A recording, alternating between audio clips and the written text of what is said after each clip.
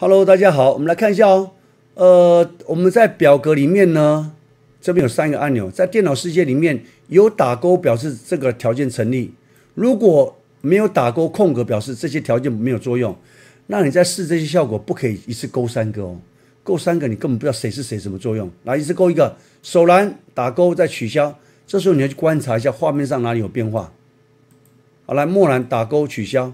哦，原来只是首栏就是第一栏自加出，末栏就是最后栏自加出。来，我先把它取消一下。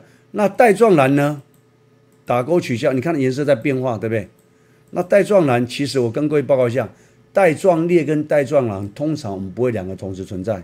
我把两个取消，你看就懂了。先取消，这样哦。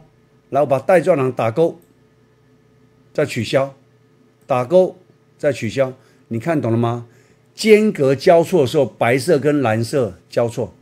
那如果带状列打勾呢？是列，直的称为蓝，横的称为列。哦，一个一条一列蓝色，一列白色，这样方便阅读。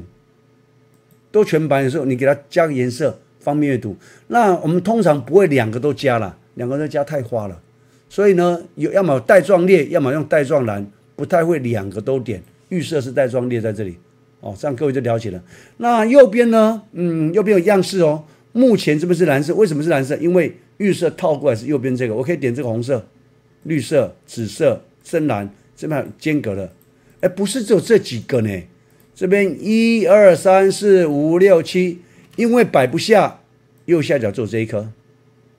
当你点下去的时候呢，可以看到全部的表格样式。来，点下去的时候呢？卷轴往那边，其实滑鼠标移过来就好，不用点哦。滑鼠标移过来，你就可以看到它变化在这里哦。就挑一个你觉得合适的效果就可以了。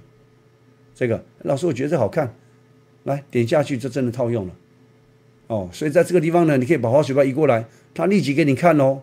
挑到你觉得合适的大、合适的样式的色彩，你就可以给它。上面还有啊，上面还有，你可以挑你自己喜欢的。来，请各位试一下这个表格样式。